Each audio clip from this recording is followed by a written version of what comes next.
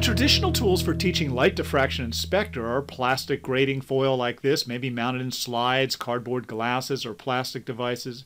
But these devices give the student a private view. Now you can have one common view in front of the classroom that everybody can share. Let's take a look at this great new device called RSpec Explorer. So this is the screen of the software that comes with the system. And we can see in the view there we have an LED column with just one light on right now, that violet light. We can see the dispersed light, and as we step through different colors into the greens and then yellows and then reds, we can see the dispersed light moving further and further away from the column until here we have all the lights on. This white LED here allows us to demonstrate that white light is composed of all the different colors, and when it's diffracted shows up as a rainbow. Sir Isaac Newton would be happy to see this display. So now we can take the next step and do some quantitative spectroscopy. We'll drag this capture box around just a portion of the image. The software is going to just sample the data between those orange lines. So this peak over here is an intensity peak for the light itself. And this peak over here is the intensity peak for that violet light that we're seeing dispersed through the grating in the spectrometer. Now let's drag that capture box around a different portion of the spectrum, maybe up to here in the green. Now over on the right we can see that our peak is in the green range at about 550 nanometers. Let's do one more over here. We'll slide up to the red and we can see on the right that our peak is at the red end of the spectrum. So this is a great demonstration that shows how dispersion can be measured using a device like a spectrometer. Showing this in front of the class means that everybody's seeing the same thing and is following along. And now that students know what to look for, they can use foil devices to study the spectrum for a hands-on activity. Now let's look at another way that we can use the system to study, in this case, gas tubes. So here we have a gas tube that I'm going to turn on. This could be a demonstration in front of a class or it could be a lab activity also. The first step, as we saw previously, is to drag these orange capture lines around the area that we want to study. Now, over on the right, we can see these peaks that correspond to the actual spectrum, once again making it clear how we can do quantitative spectroscopy off of a gas tube. So here's the fun part. We can now identify the type of gas tube.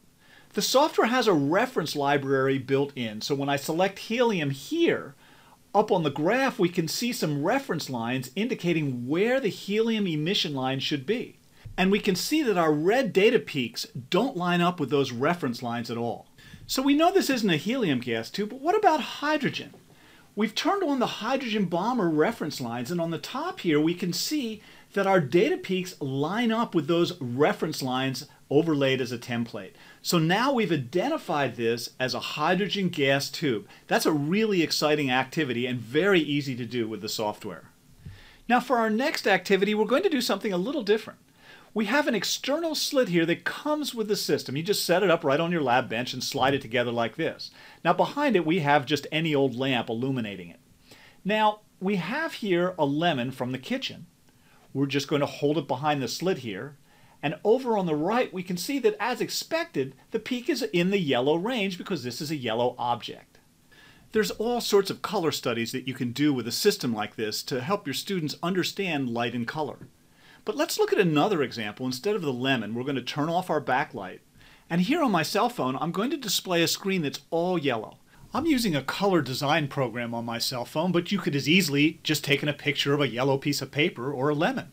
When I hold the cell phone behind the slit, we can see even visually in the video display, there's a lot of green and there's a lot of red, but there's no yellow in the spectrum. Same thing quantitatively over on the right. We can see a green peak and we see a red peak. What's going on here? Well, of course, computer screens, whether they're cell phones or monitors, can't generate a pure yellow color. They have red, green, and blue, RGB emitters, and they generate some red, and some green, and our eyes combine those and sees them as yellow. This is a great exercise and can even be used in student labs. In fact, the same technique can be used to study the gas flames of different materials doing flame spectroscopy. On the left here is a Bunsen burner. You can see the blue flame. Now remember, of course, that open flames can be dangerous. Be sure to adhere to standard safety practices. As we hold a sample of common table salts, sodium chloride in the flame, we can see the emission spectrum here.